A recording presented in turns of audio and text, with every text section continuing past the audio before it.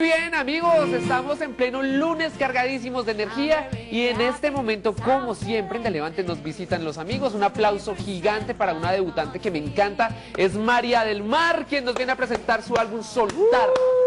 ¿Cómo estás? Qué rico estar contigo hoy. Gracias por la invitación. Hombre, qué delicia que estés con nosotros, es un placer y vienes a presentarnos entonces Soltar. Sí, señor. Cuéntanos, cuéntanos un poquito de eso. Bueno, Soltar es un álbum que vengo haciendo hace dos años. Hace más o menos un año lo terminé. Y bueno, ya este año he estado como en tema de fotos. Bueno, ustedes saben que hacer un álbum es no solamente sí. cantar, sino que implica muchísimas otras cosas. Y bueno, ya lo terminé, me lo entregan esta tarde, por eso no lo traje. Pero prometo que mañana lo hago llegar. Claro que sí. Y pues nada, ya ansiosa de que llegue el lanzamiento.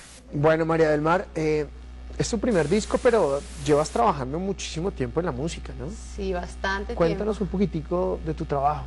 Bueno, eh, cantar he cantado toda mi vida, eh, desde, desde muy pequeña, siempre en el colegio, bueno, la historia de casi todos los Sí, músicos. claro. Y ah, em, yo estudié música. Después de un tiempo, regresé a- estudié música en España. Después de un tiempo regresé, regresé a Colombia. He trabajado en varios lugares. Estuve trabajando como cuatro años en Cucaramácara. Y ya a principios de este año. Ah, ya sabía yo. Ahí estaba quien Laura Mayolo también. Sí, claro, con Laurita. Y nada, a principios de este año ya dije voy a soltar. Y empezó todo ese trabajo y con el empezó primer disco. todo ese trabajo. Bueno, ¿y cómo comienza entonces? Hay que decir que las fotos están quedando muy lindas. Miren nomás el arte de María del Mar. bonito. Se lo entregan esta tarde, pero hablemos entonces de la composición, de esa etapa ya en la que dices, bueno, necesito un álbum. ¿Uno por dónde comienza, por ejemplo? ¿Para hacer el álbum? Sí. Bueno, lo primero que hay que hacer es ahorrar o, o conseguirse un ¿Cuánto, patrocinador. cuánto está costando un disco? Digamos, Amador se quiere hacer un disco de merengue y yo uno de salsa. ¿O fusionamos, sí? ¿Salsa merengue? ¿No? Oh, de reggaetón. De reggaetón.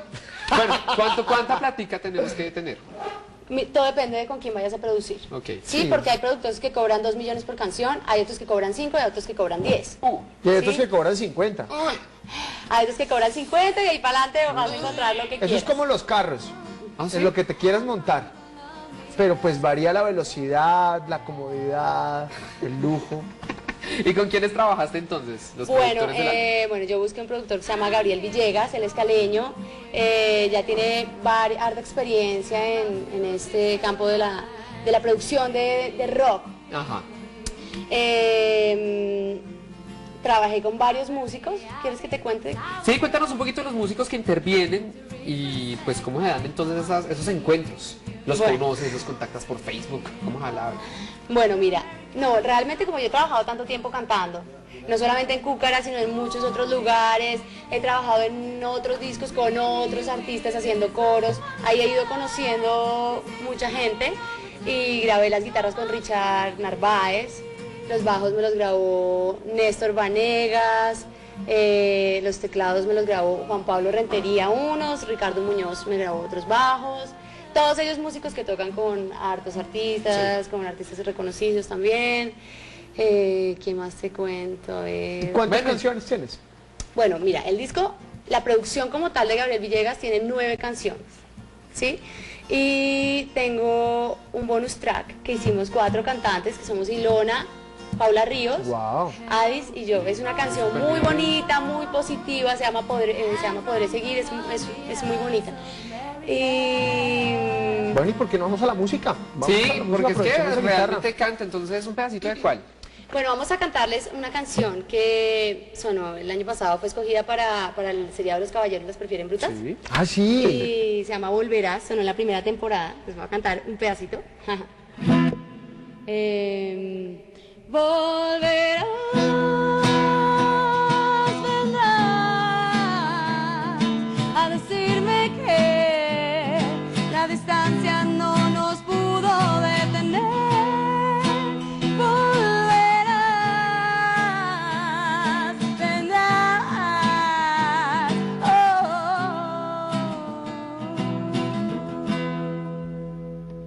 Tremendísima voz. Excelente la voz. Muy bien. Gracias. Fue muy cortico, pero sonó chévere. Más adelantico otro pedacito. Sí, no Claro más que adelante, sí. más adelante. Ahorita mucha música tenemos Ahorita les canto Mariana. más, todas las que quieran. ¿Cómo llegas a, a ser parte del soundtrack de Los Caballeros las prefieren putas? Bueno, mi música está en una editora que se llama Peer Music. Ajá. Ellos tienen un, cala- un ca- calátolo. Un catálogo. Un catálogo.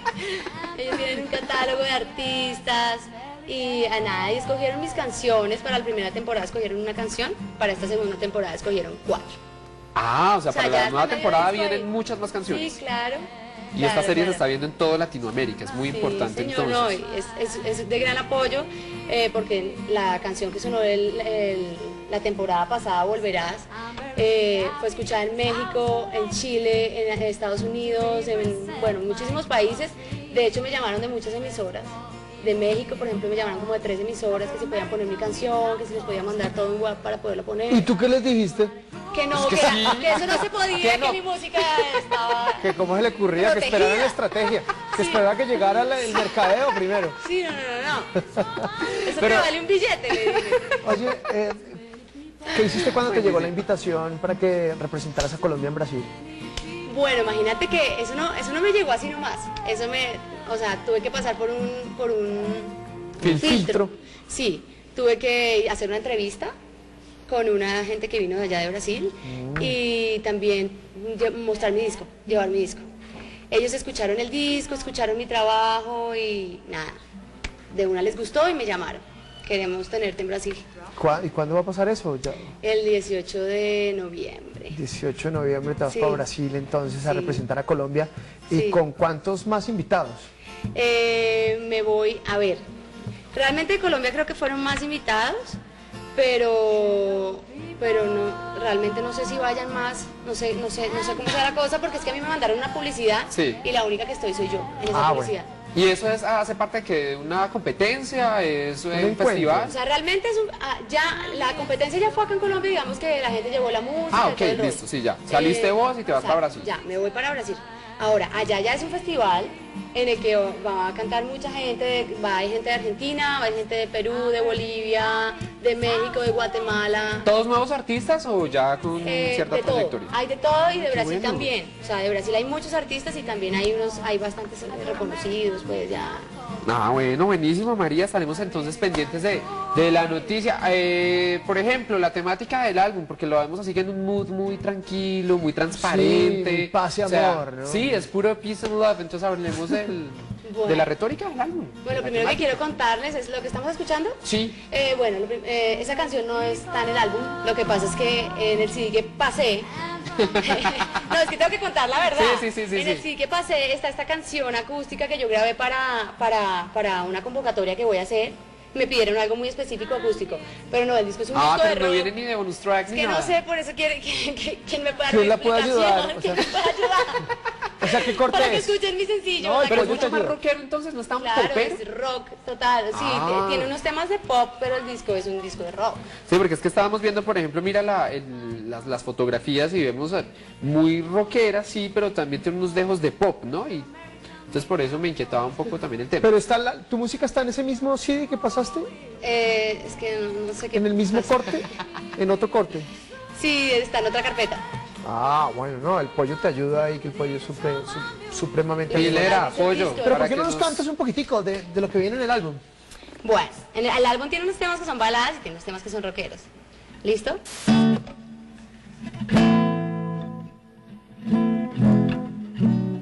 Por ejemplo, este es, este es el sencillo. El nuevo sencillo, porque ya mi primer sencillo fue Volverás, el que les acabo de cantar. Sí, el de los caballeros. Listo. Se llama Te quiero así, con